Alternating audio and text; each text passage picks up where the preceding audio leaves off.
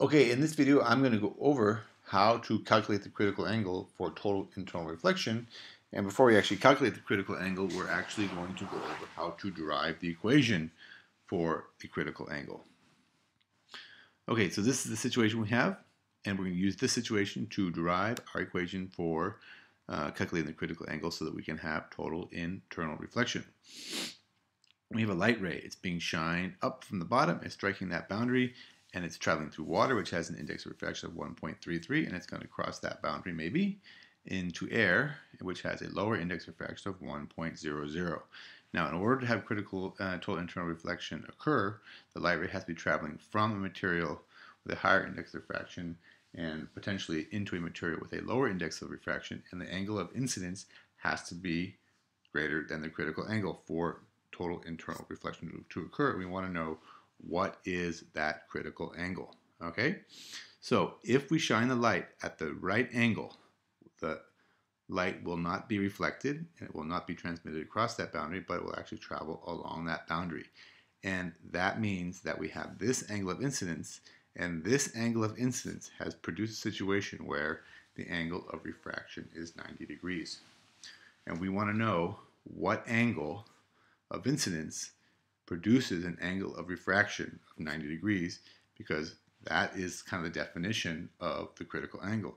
The critical angle is the angle of incidence that produces an angle of refraction of 90 degrees. And we want to go through and see how we can calculate that angle. And first we're going to derive the equation for the critical angle. Now the critical angle is just a particular angle of incidence. It's a special angle of incidence that produces angle of refraction of 90 degrees. So this is Snell's law. N1 times the sine of theta 1. This is kind of my incident side. The N1 and the sine 1 and the theta 1 side are equal to N2 times the sine of theta 2, and this is the refracted side. Now we want to know what angle of incidence will produce an angle of refraction of 90 degrees. So I'm just going to take this theta 1 out, I'm going to replace it with theta c, theta c being the angle or the critical angle that produces an angle of refraction of 90 degrees. And now we can solve for this angle. We can solve for theta c, but first we have to solve for the sine of theta c. So we know, we rearrange and we divide both sides by n1, that the sine of theta, of theta c is equal to n2 times the sine of theta 2, which is the sine of the angle of refraction, divided by n1. Now, normally, I've rearranged the equation. I would plug all the values in and solve for the critical angle, or at least first for the sine of the critical angle. But I just want to point out that we can kind of simplify this equation because n2 times the sine of theta 2. Well, theta 2 happens to be 90 degrees. Is going to be, and 90 degrees, excuse me, and the sine of 90 degrees is 1. So now I can simplify this equation. I can kind of cancel this out because the sine of 90 is 1. So really this simplifies to the sine of the critical angle. The sine of the critical angle is equal to n2 divided by n1 and I want to remember that N2 is the index of refraction of the material on the other side. Okay, and this N1 is the index of the refraction of, of the material through which the light is traveling before it would travel across to the other side. So this is the angle of, this is the index of refraction of the material that the light is in, and this is the index of refraction of material the index of refraction for the material on the other side of the boundary. Okay, and this is the equation that we use to calculate the critical angle. So let's calculate the critical angle. What angle do we need to get this light ray to travel right along that surface and get the angle of refraction to be 90 degrees? Well, let's just plug the numbers in. The sine of theta c is equal to n2, which is the index of refraction of air, divided by n1, which is the index of refraction of water, which is 1.33, and I can divide those two, and I get that the sine of the critical angle is 0.75. That's not the critical angle. the critical angle you should kind of know by now is going to be greater than you know one degree or greater than three quarters of a degree. This is the sine of the critical angle. So I have to use the inverse uh, sine function on my calculator because I want to know what angle has this sine. I know the sine of the angle is 0.75, but what angle has that sine? And if I use that, I come up that the angle that has that sine, sine of 0.75, is 48.6 degrees.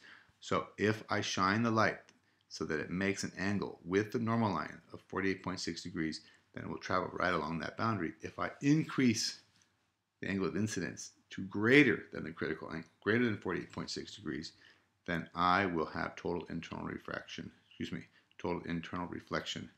And that is when all of the light is reflected off of that boundary. None of it is transmitted across that boundary. All of it is reflected, and that's called total internal reflection. Okay?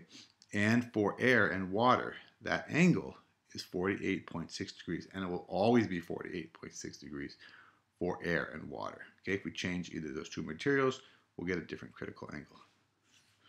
Okay, now, where is this used? Well, this is used in fiber optics. We want to make sure that when we send our phone calls, our internet, all the stuff we do online that's transmitted through fiber optic cables, that it doesn't bleed out of the cable. So we have to have the angle, this angle, the critical angle, has to be greater. Okay, if we shine the light in at the critical angle, it'll go right along that boundary. But we want to shine it in so it's all reflected in and we have total internal reflection so we don't lose any of the signal.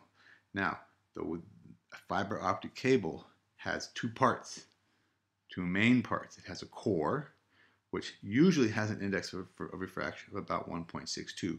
And then there's a special coating on it called the cladding or the clad.